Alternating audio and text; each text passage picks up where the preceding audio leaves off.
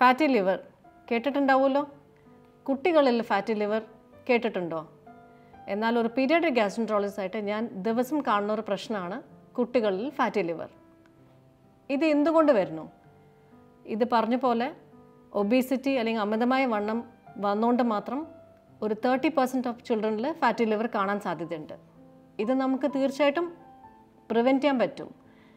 എങ്ങനെയെന്ന് ചോദിച്ചാൽ adopting healthy life styles എന്ന് വെച്ചാൽ അൾട്രാ പ്രോസസ്ഡ് ഫുഡ് അവോയ്ഡ് ചെയ്യുക ഫിസിക്കൽ ആക്ടിവിറ്റി ഇൻക്രീസ് ചെയ്യുക സ്ക്രീൻ ടൈം കുറയ്ക്കുക. ഇതുകൊണ്ട് തന്നെ ഫാറ്റി ലിവർ നമുക്ക് അവോയ്ഡ് ചെയ്യാൻ പറ്റും.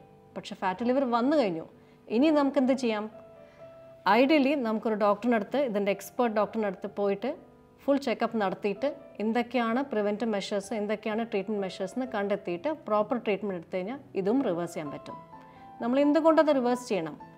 ഭാവിയിൽ ഫാറ്റി ലിവർ ഒരു ടെൻ ഓർ ട്വന്റി ഇയേഴ്സ് കഴിഞ്ഞ് സിറോസിസ് ലിവർ പോലും ആവാൻ സാധ്യതയുണ്ട്. അപ്പോൾ അത് അവോയ്ഡ് ചെയ്യുന്നതാണ് നമ്മുടെ ഹെൽത്തിനും നമ്മുടെ കുട്ടികളുടെ ഹെൽത്തിനും ഏറ്റവും ഉചിതമാണത്.